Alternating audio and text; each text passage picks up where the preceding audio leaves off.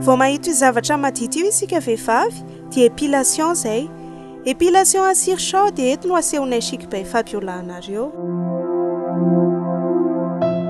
Nisafidy ny tsy halaina sary moa ity olona noraisinay ity.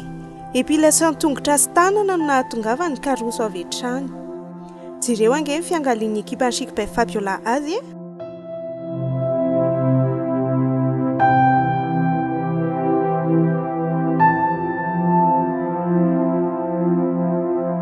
Misy firafitra ny fanosorana ny lahy sy ry Shaody ary ny fanongotana ny volo tahaka ny teo amin'ny sary rehefa manao épilation.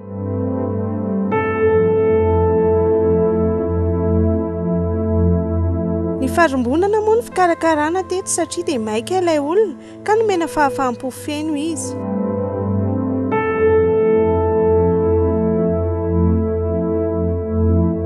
Ananana tombony betsaka ny fanaovana azy. Mora miongotra hatrany amin'ny foto ny volo, ela vao maniry. Mihamanify ihany koa ary mahatsiaro mandimandina tsara ery ny hoditrao.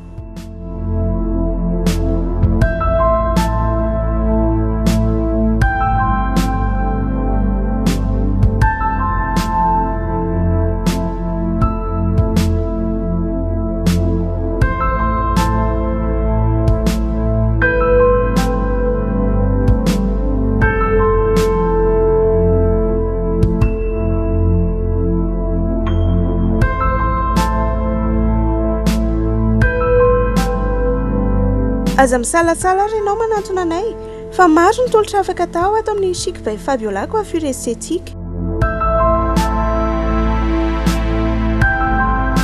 Chic by Fabiola, l'univers de la beauté.